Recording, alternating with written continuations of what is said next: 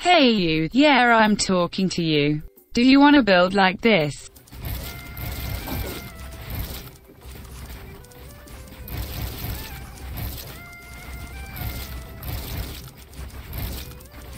So you clicked on the right video cause I'ma show you how to do it. It's So so, easy. easy. Everyone Everyone, can do do, it. The first thing you need to know is how you gonna start your retakes. You got three ways to do it. You can do it on the right side, on left side and just in the front.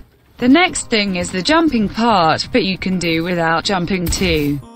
It's pretty simple you got two ways to do it. You can place a stair up there, and catch yourself like this. Or you can do it with walls and then place the stairs, that is way easier.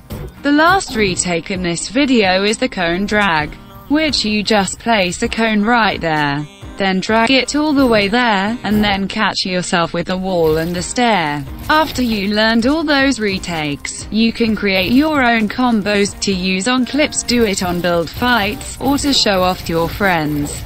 That's it for the video. I hope you learned something cool. Also a comment if you want me to do an another tutorial of retakes that are harder to do. Thanks for watching, love you.